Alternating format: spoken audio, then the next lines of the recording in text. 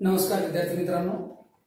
आपण या अगोदरच्या लेक्चरमध्ये जो भाग पाहिला menstrual cycle in female human female menstrual cycle त्या मेन्स्ट्रल सायकल विषयी माहिती पाहत असताना तीन फेज आपण मेन्स्ट्रल सायकलच्या अभ्यासल्या होत्या. एक फेज बाकी होती. त्या एक फेज विषयी आणि त्या पुढचा टप्पा त्या नंतरचं पीठ जे आपण स्पर्मॅटोजेनेसिस स्पर्मची निर्मिती formation of sperm in human male अगोदर फिमेल मेन्स्ट्रुअल सायकल या भागाचा जी एक फ़ेज़ बाकी होती, त्या फ़ेज़ विषयी माहिती पाहू. Secretory phase these secretory phase are also called the luteal phase luteal phase and secretory phase these two names for this phase या फ़ेज़ साठी दोन नाव आहेत, एक ल्युटियल फ़ेज़ किंवा सिक्रिटरी फ़ेज़ ही phase menstrual पिरियडच्या days of fifteen to twenty eight days ज्या तीन फेज आपल्याला पाहायला मिळतात त्या तीन तीन फेज आपण याच्या अगोदर अभ्यासल्या पहिली phase start of bleeding to four days म्हणजे ब्लिडिंगच्या स्टार्टपासून तर चार दिवसापर्यंत. पहिली फेज त्याला आपण ब्लिडिंग फेज असंही नाव दिलं किंवा मेस्ट्रल फेज असंही नाव दिलं. त्यानंतर दुसरी फेज होती फॉलिक्युलर फेज फॉलिक्युलर फेज का तर ज्या फेजमध्ये फॉलिकलची डेव्हलपमेंट होते ती फेज पाचव्या दिवसापासून तर तेराव्या दिवसापर्यंत. म्हणजेच मेन्स्ट्रल पिरियडचा स्टार्टिंगचा पहिला दिवस ते चार दिवस मेन्स्ट्रल फेज पाचव्या दिवसापासून तर तेराव्या दिवसापर्यंत. हे पाच ते तेरा ही दुसरी फेज ज्याला फॉलिक्युलर फेज असं संबोधलं जातं. तर चौथी तिसरी फेज आहे जी चौदाव्या दिवशी फक्त एक दिवसासाठी ही चोवीस तासाची एक फेज आहे वन डे ती फेज चौदाव्या दिवशी आपल्याला पाहायला मिळते. म्हणजे मेन्स्ट्रल फेजमध्ये हे एक ते चौदा एकूण चौदा दिवस हे तीन फेज जातात मेन्स्ट्रल सायकलमध्ये तीन फेज हे चौदा दिवस चालतात. तर ही सर्वात शेवटची जी फेज आहे सिक्रिटरी फेज किंवा ल्युटल फेज ही एकटी फेज ही चौदा दिवस चालते. म्हणजे एकूण मेन्स्ट्रल पिरियड हा ट्वेंटी एट डे म्हणजे अठ्ठावीस दिवसाचा मेन्स्ट्रेशनचा पिरियड असतो. त्या मेन्स्ट्रेशनच्या पिरियड पैकी ही एकच फेज ही चौदा दिवस चालते. म्हणजे पंधरा ते अठ्ठावीस पर्यंत हा कालखंड. Which is start from fifteen fifteenth day to end of twenty eight day पंधराव्या दिवशी चालू होणारी आणि अठ्ठावीसाव्या दिवशी संपणारी ही फ़ेज़ सिक्रिटरी फ़ेज़ किंवा ल्युटियल फ़ेज़ म्हणून ओळखली जाते. आता या फ़ेज़ मध्ये नेमके काय काय बदल होतात within the menstruation period about these luteal phase or the secretory phase या सिक्रिटरी फ़ेज़ मध्ये किंवा ल्युटियल फ़ेज़ मध्ये नेमके काय बदल होतात? Uterus is thicken then these all three phase या तीन फ़ेज़ पैकी युटेरसची जी जाडी असते फिमेल मध्ये ती जाड होत जाते थिक होत जाते which is about eight to ten M M म्हणजे जवळपास जी एक एम एमपासून ज्याची सुरुवात असते किंवा एक एम एम पर्यंत जे थिन झालेलं असतं तेच युटेरस आठ ते दहा एम एम पर्यंत थिकनेस या फेजमध्ये युटेरसची आपल्याला पाहायला मिळते. आता याच फेजमध्ये ह्युमन फिमेल मध्ये if at the time of ovulation ओव्हुलेशनच्या वेळेला ओव्हम रिलीज झालं. ऍट थर्ड फेज तिसऱ्या फेजमध्ये ज्याला आपण ओव्हुलेटरी फेज म्हणतो. ओव्हुलेटरी फेजमध्ये जर ओहम रिलीज झालं किंवा ओव्हुलेशन झालं आणि ते ovum if react with the sperm जर ते स्पर्म सोबत रिॲक्ट झालं म्हणजे त्याचं फर्टिलायझेशन झालं तर मी तुम्हाला अगोदर सांगितलं होतं दोन भाग असतात. जर फर्टिलायझेशन झालं तर आणि जर फर्टिलायझेशन झालं नाही तर. असे दोन वेगवेगळे भाग या मेन्स्ट्रेशनच्या मध्ये आपल्याला पाहायला मिळतात. आता फर्टिलायझेशन होण्यासाठीच पोषक वातावरण या सिक्रिटरी फेजमध्ये निर्माण केलं जातं. म्हणजेच एन्डोमेट्रियमची जाडी त्या युटेरसच्या एन्डोमेट्रियमची जाडी ही जवळपास आठ ते दहा सेंटीमीटर सॉरी आठ ते दहा एम एम मिलीमीटर एवढी थिकनेस या या सिक्रिटरी फेजमध्ये आपल्याला एन्डोमेट्रियमची पाहायला मिळते. याचं कारण असं त्याची थिकनेस स्पर्म आणि ओहमचं एकत्रीकरण करण्यासाठी ही थिकनेस अत्यंत महत्वाची भूमिका परफॉर्म करत असते. त्यानंतर या याच फेजमध्ये एच सी जी जर फर्टिलायझेशन झालं तर after fertilization human chorionic gonadotropins नावाचा एक हार्मोन असतो. ह्युमन कोरिओनिक गोनॅडोट्रॉपिन्स हा human chorionic gonadotropins which is found if fertilization occur जर फर्टिलायझेशन झालं तर तो हार्मोन फिमेलच्या एकतर ब्लडमध्ये आणि त्याचबरोबर युरिनमध्ये सुद्धा हा ह्युमन कोरिओनिक गोनॅडोट्रॉपिक आपल्याला पाहायला मिळतो. आणि फर्टिलायझेशन नावाची जी प्रक्रिया असते स्पर्म आणि ओम यांचं फर्टिलायझेशन जे होतं within the twenty four hours after ovulation ओव्हुलेशनच्या नंतर ओहम रिलीज झाल्याच्यानंतर चोवीस तासामध्ये जर फर्टिलायझेशन झालं तरच फर्टिलायझेशन होतं. अन्यथा जर चोवीस तासामध्ये ओव्हुलेशन झाल्याच्यानंतर चोवीस तासामध्ये जर फर्टिलायझेशन झालं नाही तर दीर्घ काळापर्यंत ओहम हे लाईव्ह राहू शकत नाही. म्हणून त्याचं फर्टिलायझेशन लेट होऊ शकत नाही. यामध्ये सिक्रिटरी फ़ेज़ ही अत्यंत महत्वाची, ही फ़ेज़ म्हणून ओळखली जाते. If the fertilization occur this phase in this phase the human chorionic gonadotropins is found in the female means in the urine of female or in the blood of female त्या फिमेलच्या ब्लडमध्ये किंवा या फिमेलच्या युरिनमध्ये जर fertilisation झालं असेल तर या प्रकारचा ह्युमन कोरिओनिक गोनेरोट्रॉपिक हा प्रेग्नन्सी आयडेंटिफिकेशन करणारा म्हणजेच प्रेग्नन्सी इंडिकेट करणारा हार्मोन या ठिकाणी त्या फिमेल मध्ये पाहायला मिळत असतो. आता इथपर्यंत menstrual cycle in the female हे आपल्याला तीन फेज या ठिकाणी इथपर्यंत पाहायला मिळाले. किंवा या चार फेज झाल्या आता या फेज चार फेज झाले. मेन्स्ट्रुअल सायकलच्या पहिल्या तीन फेज आणि चौथी फेज अशा एकूण चार फेज मेन्स्ट्रुअल सायकलमध्ये परत एकदा मी उल्लेख करतोय. पहिली फेज ब्लिडिंग फेज किंवा मेन्स्ट्रुअल फेज दुसरी फॉलिक्युलर फेज तिसरी ओव्हुलेटरी फेज आणि चौथी ही सिक्रिटरी फेज किंवा ल्युटल फेज अशा चार फेज मेन्स्ट्रुएशनचा कालावधी कंप्लीट करतात. पहिली फेज चार दिवस दुसरी फेज पाच ते तेरा दिवस आणि तिसरी फेज फक्त चौदावा दिवस आणि ही चौथी फेज पंधरा ते अठ्ठावीस दिवस. असा अठ्ठावीस दिवसाचा मेन्स्ट्रुएशन पिरियड फिमेल मध्ये ह्युमन फिमेल मध्ये आपल्याला पाहायला मिळतो जो या पद्धतीचा असतो. आता यामध्ये आपल्याला स्पर्मेटोजेनेसिस इथं मेन्स्ट्रल सायकल हे कंप्लीट झालं. म्हणून मी इथे पूर्णपणे मेन्स्ट्रल सायकलसाठी लिहिलेलं तो भाग कट करतो आता we study now about the spermatogenesis आपण या स्पर्मेटोजेनेसिस विषयी काही थोडीशी माहिती बघितलेली स्पर्मेटोजेनेसिस नावाची क्रिया फक्त ऐकलेली हे स्पर्मेटोजेनेसिस नेमकं कसं होतं? म्हणजे कशी प्रक्रिया आहे? How this process can perform he process कशी परफॉर्म केली जाते? आपण प्रायमॉर्डियल सेल ही प्रायमॉर्डियल सेल अभ्यासलेली आहे. For the transfer section of testis transfer section जेव्हा टेस्टिसचा आपण अभ्यासला किंवा एलएस सेक्शन टेस्टिसचा आपण अभ्यासला. त्यामध्ये प्रायमॉर्डियल सेल विषय आपण जर्मिनल सेल जर्मिनल सेल विषयी माहिती पाहिली तर जर्म सेल किंवा germinal epithelium in the testis टेस्टिसमध्ये जे जर्मिनल इपिथेलियम असतं त्याविषयी माहिती आपण पाहिली होती. This is the primordial cell त्यापैकीची एक सेल आहे जी की स्पर्म निर्माण करण्यासाठी कारणीभूत ठरते. आता या प्रायमॉर्डियल सेल पासून एका स्पर्मची निर्मिती म्हणजेच स्पर्मॅटोसाइट किंवा स्पर्मॅटोगोनिया किंवा त्याला आपण spermatozoa listen this the secondary spermatocyte is the primary spermatocyte, secondary spermatocyte, spermatid and spermatozoon or spermatozoa. This is the fourth phase or fourth stage in the sperm formation. स्पर्मच्या निर्मितीमध्ये ह्या चार stage किंवा चार अवस्था आपल्याला पाहायला मिळतात पहिली प्रायमॉर्डियल सेल या प्रायमॉर्डियल सेल पासून याची निर्मिती कशी होती ते आपण पाहूया यामध्ये तीन फेज आपल्याला पाहायला मिळतात पहिली फेज आहे मल्टिप्लिकेशन फेज दुसरी फेज आहे ग्रोथ फेज आणि तिसरी फेज आहे मॅच्युरेशन फेज लिसन या तीनही फेज आपण समजून घेऊया. पहिल्यांदा या डायग्राममध्ये ही जी प्रोसेस दिली ही प्रोसेस आपण पहिल्यांदा समजून घेऊ. Primordial cell get convert in the mitosis process you know very well I told to me तुम्हाला क्लासमध्ये मायटोसिस नावाची प्रोसेस आणि मिओसिस नावाची प्रोसेस म्हणजे सेल डिव्हिजन नावाचा भाग किंवा सेल डिव्हिजन या टॉपिक मधील मायटोसिस आणि मिओसिस या दोन्ही प्रोसेस समजून सांगितल्या होत्या. मायटोसिस या प्रोसेस मध्ये एका सेल पासून दोन सेल तयार होतात. Which is as it is of the mother cell ज्या सेम मदर सेल सारख्याच असतात. ही प्रोसेस मायटोसिस प्रोसेस आहे बघा. एका सेलच्या चार सेल तयार होतात. म्हणजे अगोदर एका सेलच्या दोन आणि नंतर दोन सेलच्या चार प्रत्येकी. म्हणजे ही प्रायमॉर्डियल सेल जशी टू एन नंबर आहे तशीच हे स्पर्मॅटोगोनिया हे सुद्धा क्रियन आहे. बिकॉज ऑफ द मायटोसिस कशामुळे? मायटोसिस प्रोसेसमुळे मायटोसिस प्रोसेसमध्ये त्याचं विभाजन होत नाही.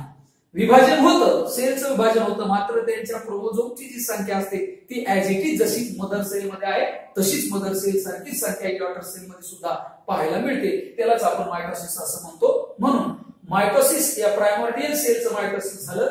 आणि नुसतं मायटोसिस नाही तर एकदा नाही. तर त्याचं मल्टिप्लिकेशन म्हणजे एकदा मायटोसिस विभाजन झालं त्याचं परत पुन्हा डबल मायटोसिस झालं. मीन्स रिपीटेड मायटोटिक डिव्हिजन याला काय म्हणायचं? रिपीटेड मायटोटिक डिव्हिजन एकदा झालं पुन्हा रिपीट मायटोटिक डिव्हिजन झालं. म्हणजे रिपीटेड मायटोटिक डिव्हिजननुसार स्पर्मॅटोगोनियाची निर्मिती झाली. बघा हे प्रायमोडियल सेल विभागल्या गेली एका सेलच्या दोन सेल तयार झाल्या. परत ह्या दोन सेल मायटोटिकली विभागल्या गेल्या या दोन सेलच्या चार सेल तयार झाल्या. ह्या ज्या चार सेल तयार झाल्या याला स्पर्मॅटोगोनिया असं म्हटलं गेलं. These spermatogonia formation because of the multiplication phase हे कशामुळे झालं? तर याचं मल्टिप्लिकेशन झालं. आता मल्टिप्लिकेशन म्हणजे नेमकं काय? हे सुद्धा मी मायटोसिस शिकवताना समजून सांगितलं होतं. तुम्हाला सांगितलं होतं. टू एन हे टू एन म्हणजे नेमकं काय? दोन गुणिले एन एन म्हणजे काय? सपोज वन सेल ही एक सेल आहे. म्हणजे एन आहे. आणि टू मग त्याला गुणिले एक सूत्र आहे. मग एक गुणिले दोन बरोबर दोन. आता दोन गुणिले दोन बरोबर चार. लक्षात येते म्हणजे मल्टिप्लाय बाय टू त्याला किती न गुणायचं? दोन न. ज्याला सर्वसाधारण मल्टिप्लिकेशन फेज असं संबोधलं गेलं ज्याला स्पर्मेटोगोनियाची निर्मिती या ठिकाणी आपल्याला पाहायला मिळते.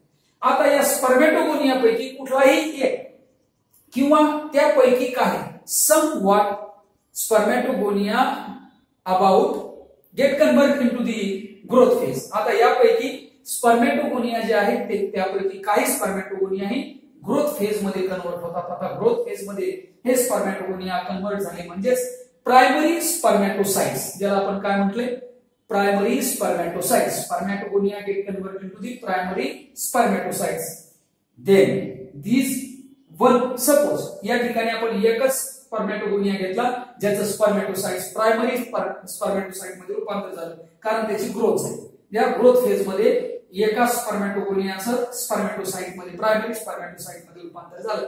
एवढ्याला आपण ग्रोथ फेज असतो आता ग्रोथ फेजमध्ये त्याची ग्रोथ कशी कशी होती ते टप्पे सुद्धा दिलेले आहे मात्र या ठिकाणी स्पर्मॅटोगोनिया आणि प्रायमरी स्पर्मॅटोसाइट ही ग्रोथ फेज समजून घ्या. ही नंबर दोनची फेज आता मात्र या प्रायमरी स्पर्मेटोसाईटची नंतर ची जी शेवटची फेज आहे त्याला मॅच्युरेशन फेज म्हणतात हे मॅच्युरेशन फेज या ठिकाणी समजून घेण्यासारखी आहे. Primary spermatocyte get convert in or get goes into the meiosis first and meiosis second listen you know very well meiosis first and meiosis second meiosis फर्स्टमध्ये prophase first metaphase first anaphase first telophase first cytokinesis. या stage आहे. Prophase फर्स्टमध्ये परत leptotene zygotene pachytene diplotene diakinesis. You know very well मी तुम्हाला शिकवलेलं आहे. लक्षात आहे का ते आठवून बघा. मिओसिस फर्स्टमध्ये पाच फेज कुठल्या कुठल्या?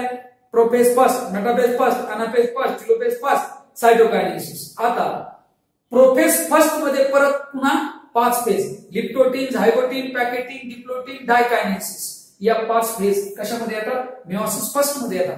मेओसिस फर्स्ट मधील या पाच फेज पूर्ण कंप्लीट करून आणि मेओसिस फर्स्ट पूर्ण कंप्लीट करून नंतर it get convert into the secondary spermatocytes means meiosis second मग या मेओसिस फर्स्ट कंप्लीट झाल्याच्यानंतर सेकंडरी स्पर्मॅटोसाइटमध्ये त्याचं रूपांतर होतं.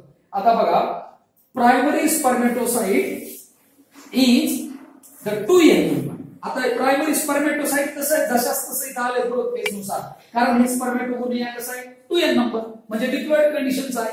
हे सुद्धा प्रायमरी स्पर्मेटोसाईट सुद्धा डिप्लॉइड कंडिशन आहे. मात्र मिओसिस फर्स्ट आणि मिओसिस सेकंड झाल्याच्यानंतर म्हणजे मिओसिस या प्रक्रियेमध्येच याचं रूपांतरण मिओटिक डिव्हिजन झाल्याच्यानंतर स्पर्मॅटो जेनेसिस ज्याला आपण स्पर्मची निर्मिती असं म्हणतो जो एन नंबरमध्ये आहे. तुम्हाला मी हेही शिकवलं होतं.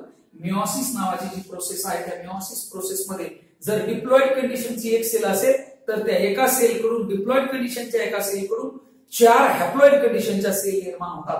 हीच प्रोसेस या ठिकाणी पाहायला मिळते. ही डिप्लॉइड कंडिशनची एक प्रायमरी स्पर्मॅटोसाइट आहे. या प्रायमरी स्पर्मॅटोसाइटचं मिओसिस फर्स्ट झालं. आणि मिओसिस फर्स्ट फर्स्ट होऊन सेकंडरी स्पर्मॅटोसाइट्स तयार झाला. सेकंडरी स्पर्मॅटोसाइटचं परत मिओसिस सेकंड झालं आणि त्यामध्ये स्पर्मॅटिड्स हे निर्माण झाले. The spermatids is in form of N number हे स्पर्मॅटोसाइट सुद्धा एन नंबर आहेत म्हणजेच हॅप्लॉइड आहेत. हे स्पर्मॅटिड सुद्धा हॅप्लॉइड आहेत. दे प्रोड्यूस म्हणजे स्पर्मॅटिडचं रूपांतर नंतर स्पर्मॅटोझोमध्ये झालं ज्याला आपण स्पर्म असं म्हणतो. हे स्पर्म सुद्धा एन नंबर आहेत म्हणजेच हॅप्लॉइड आहे. लिसन परत एकदा इथून मी परत रिपीट करतोय. प्रायमरी स्पर्मॅटोसाइट्स हे टू टू एन आहेत. म्हणजे डिप्लॉइड कंडिशनचे आहेत मात्र जेव्हा ते मिओसिस प्रोसेस मध्ये जातात तेव्हा मिओसिस प्रोसेस नुसार सेकंडरी स्पर्मेटोसाइट्स हे हॅप्लॉइड कंडिशनचे असतात सेकंडरी स्पर्मेटोसाइट्स परत मिओसिस सेकंडमध्ये प्रवेश करतात. मिओसिस सेकंडमध्ये सुद्धा पाच फेज येतात. Prophase second metaphase second anaphase second telophase second cytokinesis अशा प्रोसेस याच्यामध्ये आपल्याला पाहायला मिळतात. कशानंतर? सेकंडरी स्पर्मेटोसाइटच्या नंतर. मग सेकंडरी स्पर्मेटोसाइट्स हे एन नंबर आहे म्हणजे हॅप्लॉइड आहे. हे हॅप्लॉइड प्रकारचं जे काय स्पर्मेटिड स्पर्मेटोसाइट्स आहे हे सुद्धा स्पर्मेटिडमध्ये रूपांतरित होतं मिओसिस सेकंडच्या माध्यमातून. आणि हे स्पर्मेटिड सुद्धा हॅप्लॉइड कंडिशनचा असतं म्हणजे या चार सेल निर्माण झाल्या हॅप्लॉइड कंडिशनच्या आणि त्याचं रूपांतर नंतर स्पर्मॅटोझोआमध्ये झालं. Which are also the haploid in number of chromosome content in the sperm in each sperm या प्रत्येक स्पर्ममध्ये हॅप्लॉइड नंबरचे क्रोमोझोम कंटेंट असतात. आता इकडे लक्ष द्या मी परत रिपीट सुरुवात करते. प्रायमॉर्डियल सेल ही टू ए नंबर होती. म्हणजे डिप्लॉइड कंडिशन आपल्याला या ठिकाणी पाहायला मिळेल. म्हणजे ज्याला आपण टू एन नंबर म्हणतो. Diploid कंडिशनची primordial cell get convert into the haploid spermatozoon because of meiosis process हे फक्त कुणामुळे झालं? तर मेओसिस प्रोसेस जिथून स्टार्ट झाली. या मेओसिस प्रोसेसमुळेच डिप्लॉइड सेलचं कंडिशन डिप्लॉइड जी प्रायमोडियल सेल आहे याचं रूपांतरण हे हॅप्लॉइड सेल मध्ये म्हणजेच स्पर्मॅटोझोमध्ये झालं. म्हणजेच primary spermatocytes is the diploid condition secondary spermatocyte is in haploid condition and spermatid are also haploid and spermatozoa means spermatozoon or sperms are also in haploid condition. Listen आता याच प्रकारचं उजेनिसिस आहे. मात्र उजेनिसिसमध्ये फक्त थोडासा किंचित समजले. की उजेनिसिसची डायग्राम काढल्याच्या नंतर ते समजून सांगताना तुम्हाला सांगणारच आहे. मात्र उजेनिसिस म्हणजे ओहोम निर्मिती. ओहोमची निर्मिती सुद्धा हॅप्लॉइड्स होते बिकॉज ऑफ द मिओसिस आणि स्पर्मची निर्मिती सुद्धा haploid condition because of the meiosis meiosis मुळे हे हॅप्लॉइड हॅप्लॉइड हा एक हॅप्लॉइड प्रकारचा म्हणजे हॅप्लॉइड कंडिशनचा स्पर्म ज्याच्याकडे आधीच डॅमेज आहे. Twenty three chromosomes are present in the sperm and twenty three chromosomes are present in the ovum म्हणजे तेवीस प्लस तेवीस twenty three plus twenty three is equal to forty six means forty four autosomes and two sex chromosomes present in the diploid condition of cell एका सेलच्या diploid कंडिशनच्या सेलमध्ये जे chromosome असतात हे शेहेचाळीस असतात त्यापैकी चौवेचाळीस हे ॲटोझोम्स असतात. तर दोन हे सेक्स क्रोमोझोम असतात त्यापैकी स्पर्मकडे तेवीस आणि ओहमकडे तेवीस. म्हणजे मॅटर्नल अँड पॅटर्नल मॅटर्नल म्हणजे मदरकडचे जे ट्वेंटी थ्री असतात आणि पॅटर्नल म्हणजे फादरकडचे हे ट्वेंटी थ्री असतात. असे twenty three plus twenty three is equal to forty six असे क्रोमोझोम डिप्लॉइड कंडिशनच्या सेलमध्ये असतात. जेव्हा हे एक स्पर्म एका ओहम सोबत फर्टिलाइज होतो तेव्हा फर्टिलायझेशनच्या वेळेला याकडचे तेवीस क्रोमोझोम स्पर्म कडचे तेवीस क्रोमोझोम ओहमच्या ओहम कडच्या तेवीस क्रोमोझोम सोबत पेर ओम फर्टिलायझेशन होतं. आणि शेहेचाळीस क्रोमोझोम असणारी एक श्रंखला म्हणजे एक सेल तयार होते त्याला एक सेल फर्टिलायझर ओम असं सुद्धा म्हटलं जातं. आणि ते फर्टिलायझर ओमचं नंतर एम्ब्रिओ मध्ये रूपांतर होतं. आणि त्याचं मल्टिप्लिकेशन मायटोटिकली होऊन डेव्हलपमेंट होते त्याचा विकास होत जातो. एम्ब्रिओलॉजिकल डेव्हलपमेंट नंतर तिथून पुढे सुरू होते. आता इथपर्यंत आपल्याला फक्त स्पर्मॅटोजेनेसिस स्पर्मची निर्मिती कशी झाली हेच पाहायचं होतं हे आपण इथपर्यंत पाहिलं. बघा प्रायमॉर्डियल सेल कडून स्पर्मॅटोगोनिया स्पर्मॅटोगोनिया जो की डिप्लॉइड आहे त्यानंतर प्रायमरी स्पर्मॅटोसाइट जो डिप्लॉइड आहे इथपर्यंत आपल्याला ग्रोथ फेज आणि मल्टिप्लिकेशन फेज पाहायला मिळेल. मल्टिप्लिकेशन फेजमध्ये मायटोसिस असतं. ग्रोथ फेजमध्ये फक्त त्या डिप्लॉइड कंडिशनच्या स्पर्मॅटोझोवाची ग्रोथ होते आणि त्यानंतर मात्र मिओसिसमध्ये रूपांतर होतं. मिओसिस याच्यामध्ये मिओटिक डिव्हिजन आपण म्हणतो. या मिओटिक डिव्हिजनमध्ये या डिप्लॉइड कंडिशनच्या स्पर्मॅटोसाइट्सचं रूपांतर सेकंडरी स्पर्मॅटोसाइट्स जे की हॅप्लॉइड आहे त्यामध्ये होतं. आणि मिओसिस सेकंडमध्ये सेकंडरी स्पर्मॅटोसाइटचं रूपांतर स्पर्मॅटिडमध्ये जे की हॅप्लॉइड आहे.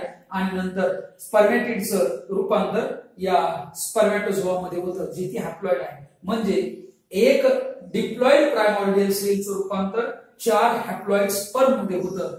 This is the spermatogenesis process इथपर्यंत आपण स्पर्मॅटोजेनेसिस प्रोसेस पाहिली. यानंतर ओजेनेसिस प्रोसेस असेल किंवा पुढचा जो भाग असेल यानंतरच्या लेक्चरमध्ये आपण अभ्यासणार ओके थँक्यू